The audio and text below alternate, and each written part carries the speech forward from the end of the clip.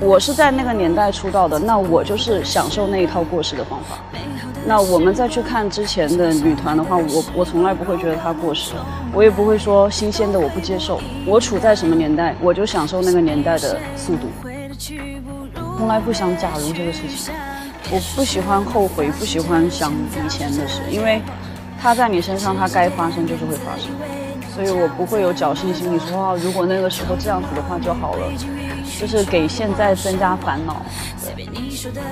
我当时去参加浪姐的时候，有很多人也给我意见说，你要有个定位啊，你要有个人设啊，可是我不是那样啊。知名度提升就是有狗仔会拍我散步了。肯定还是有的，我不愿意放弃的这一点的精神，我觉得就是有一颗不愿意输的心。